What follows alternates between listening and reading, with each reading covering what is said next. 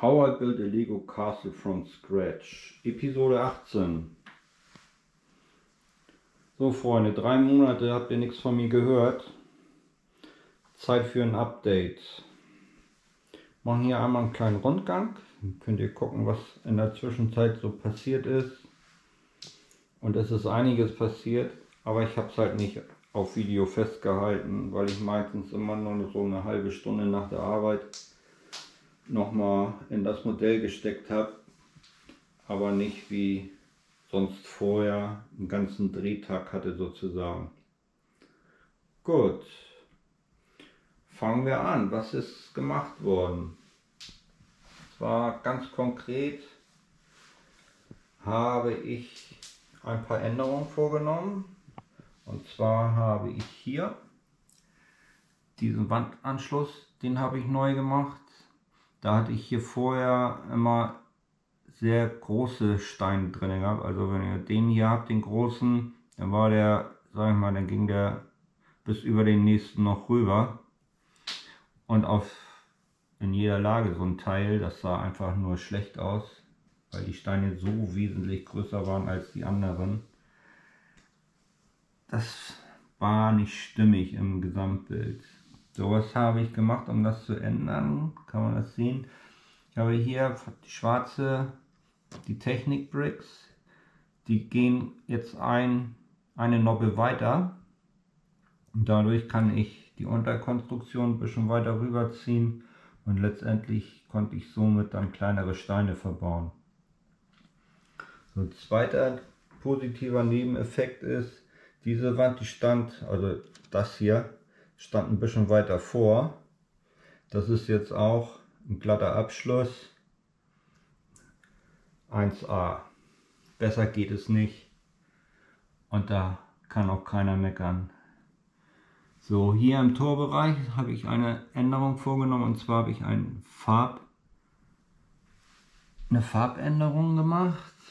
Und zwar hatte ich hier den oberen Bogen der war schon dunkelgrau, aber die anschließenden, äh, so anschließenden Seitenwände, die waren halt in hellgrau. Und das ist jetzt alles dunkelgrau.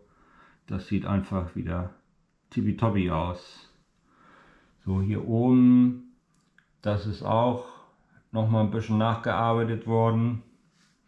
Das passt jetzt alles farblich.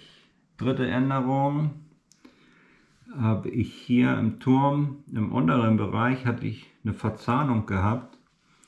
Das war ein bisschen unvorteilhaft, wenn man das nämlich auseinander nimmt, dann verhakt das und das ist Quälkran gewesen. So, da ist jetzt alles, so wie hier im oberen Bereich, gut zu sehen ist, so auf Spalt gearbeitet worden. Gut, kommen wir zu den Sachen, die frisch sind.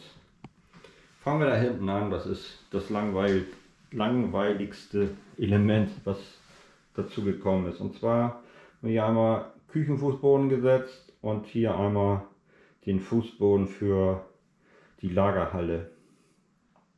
Das ist genauso gemacht worden wie da hinten beim Stahl. Solide Unterkonstruktion, solide Platte, das hält. Das sind übrigens zwei Teile, also das ist ein Ding, da hinten ist ein Ding ähm, weil das sonst nachher alles zu schwer wird. So, dann habe ich hier mit Technik Bricks die Burgwand schon mal hochgezogen auf Endhöhe. Den Turm haben wir ein bisschen erhöht. Und ja, hier bei der Wand ist glaube ich auch nur noch eine oder zwei Lagen oben rauf gekommen. Und das ist jetzt auch die finale Höhe. Hier kommt jetzt eigentlich nur noch ähm, der Wehrgang oben rauf und den wollte ich in Anführungszeichen in Holzkonstruktion machen.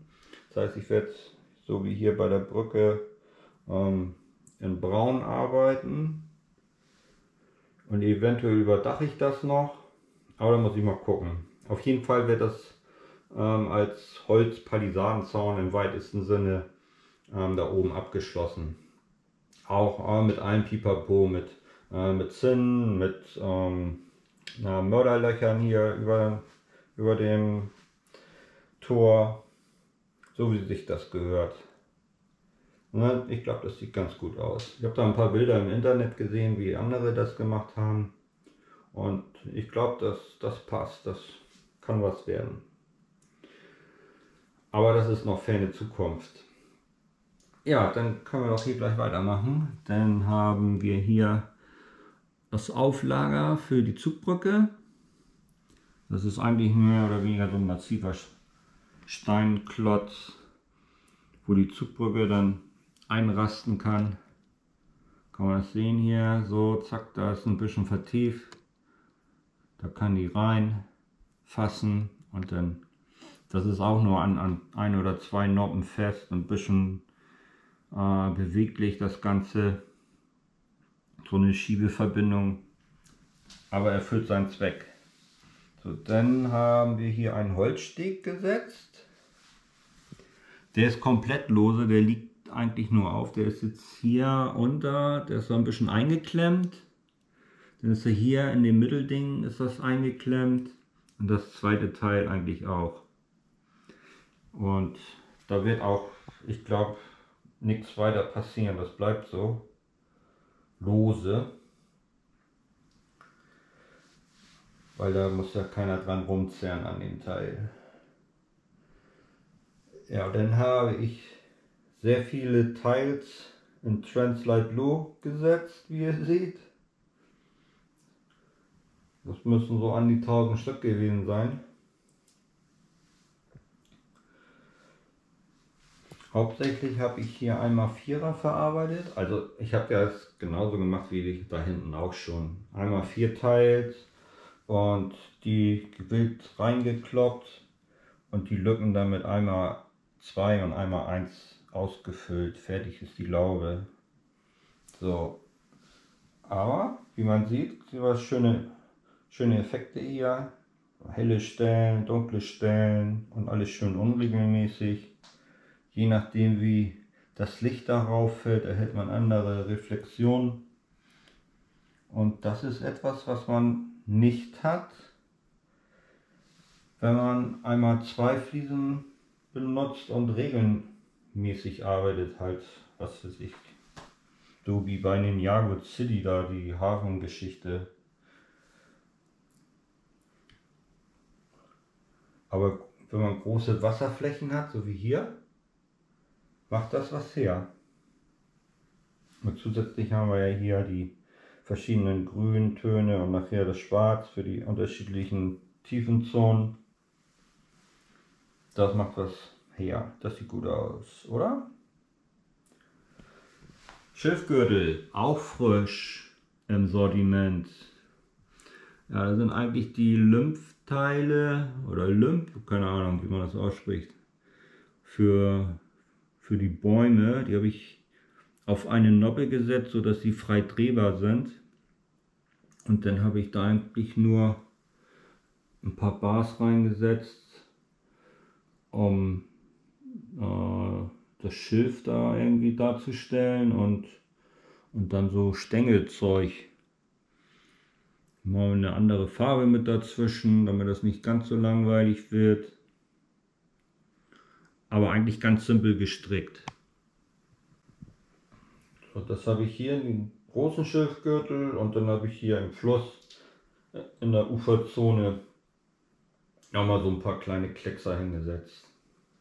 Ein paar Schwäne noch. Sieht auch recht organisch lebendig aus.